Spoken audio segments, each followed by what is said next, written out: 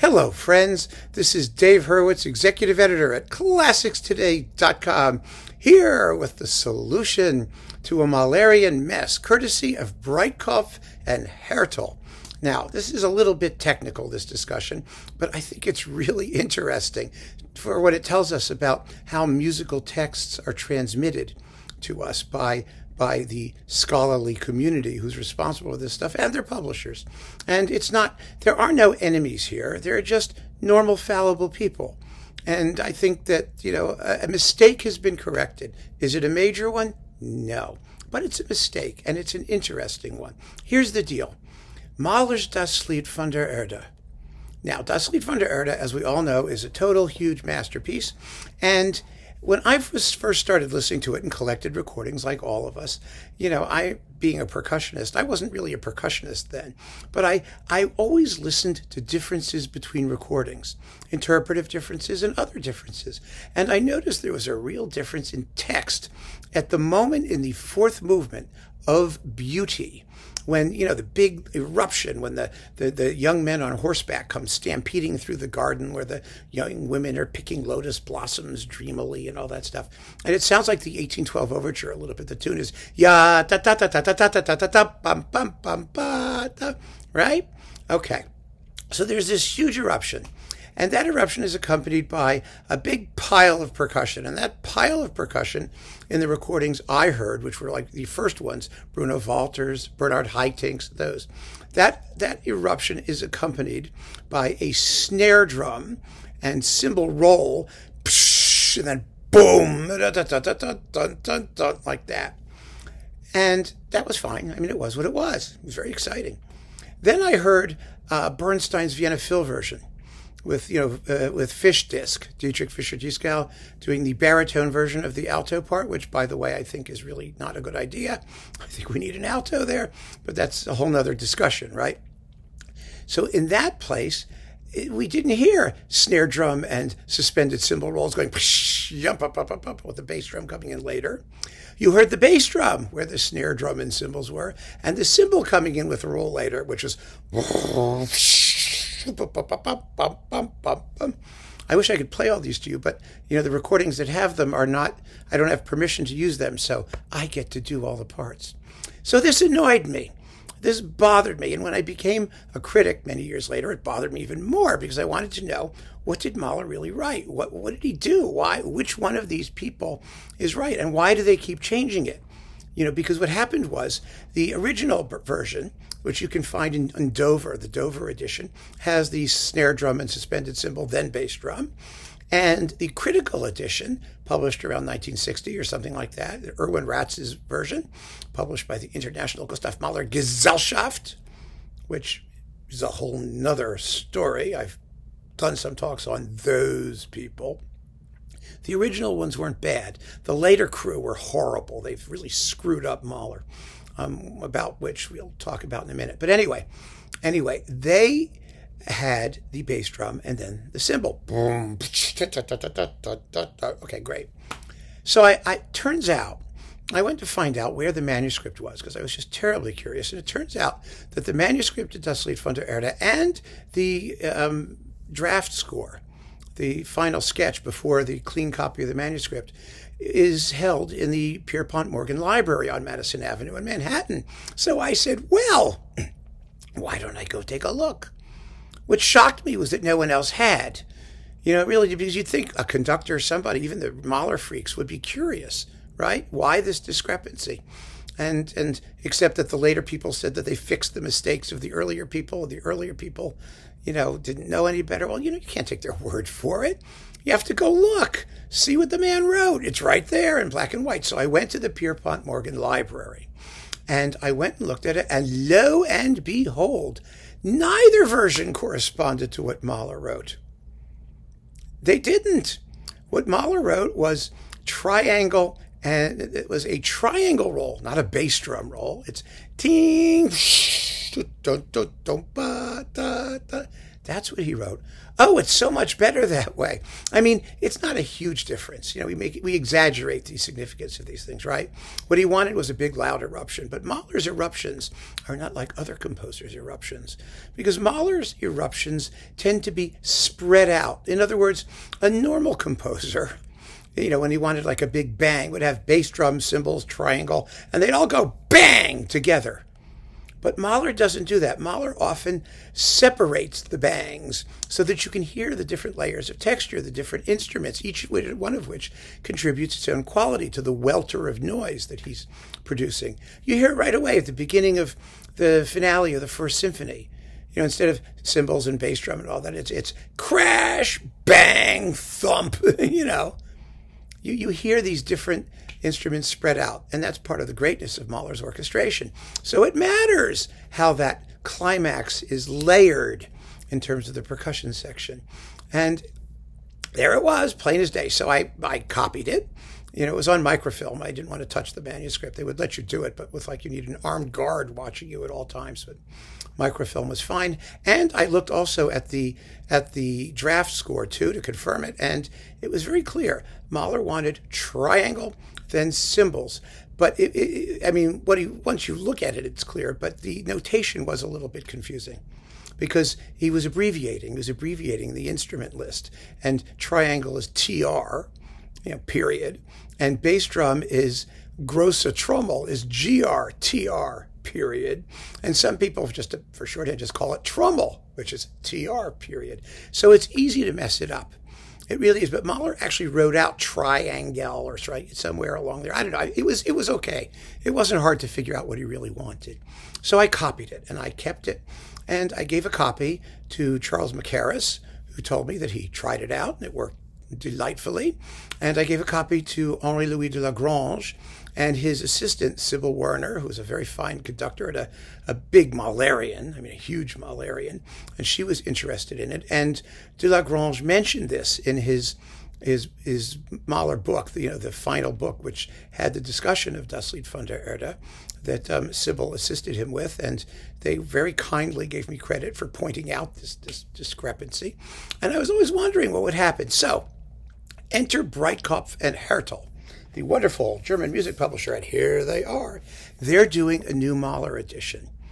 And you would say, ugh, as if we need one. Well, in fact, we do. We need one because the International Gustav Mahler Gesellschaft, in its second go at most of these symphonies, has just made, I think, a horrendous mess, and their approach is wrong the approach is to establish what they consider to be a definitive text and then argue endlessly over what order of the movements the six should have or whether Mahler wanted this or that. You know, it's a waste of time. It really is. Now, I haven't seen everything in this in this series yet. They've so far issued one, three, four, Blumine, you know, the extra movement from the First Symphony, and Das Lied von der Erde. But the editorial principle here, I think, was I was so overjoyed. Pardon me, I my computer here, here, to hear it articulated because the editor, who is Christian Rudolf Riedel, writes In the majority of Gustav Mahler's works, it is not possible to designate unequivocally, unequivocally, pardon me, an ultimate version down to the last detail, or even an urtext. Mahler himself aspired lifelong to a final text and pursued a definitive ideal work form from, today, from today's perspective, only to be halted by his too early death. In other words, there is no such thing in Mahler symphony scores uh, in, in many cases. There is only there is only what he did on the day and his constant efforts at revision. And so you have to weigh, and they say this here very nicely, you have to determine, looking at all the different sources, because every time he played something, he changed tons of stuff. You have to decide whether or not something that he did represented a final intention, or whether it was just something for that circumstance or something he may have been trying out. And in many cases, there's no answer. So ultimately, the correct critical edition would be to give you the legitimate options and let the conductor choose you know, where there are options. And so I'm, I'm really very curious to hear what these people will do with the sixth, which is probably the symphony that has the most number of puzzling aspects in that regard. But with Das Lied von der Erde, we're fairly lucky. We're lucky because Mahler wrote it, and then he sent it off. He had it copied. He sent it to his publisher, and they produced what's called a Stichvorlage, or a publisher's copy, which Mahler corrected, but he did not live to see the final version into, in print. And he never heard the work at all. It was never performed in his lifetime. He just kept tinkering. And so you've got manuscript, the autograph manuscript, you've got the publisher's copy, you've got Mahler's corrections in both, and and when he worked in one, he didn't necessarily enter those corrections in the other. So and then there are all the other manuscript sources, of which there are several, because Mahler prepared a piano version and someone else prepared a piano version, a reduction of the orchestral version. There are a large number of sources. And then there are the two scores published by the International Gustav Mahler Gesellschaft.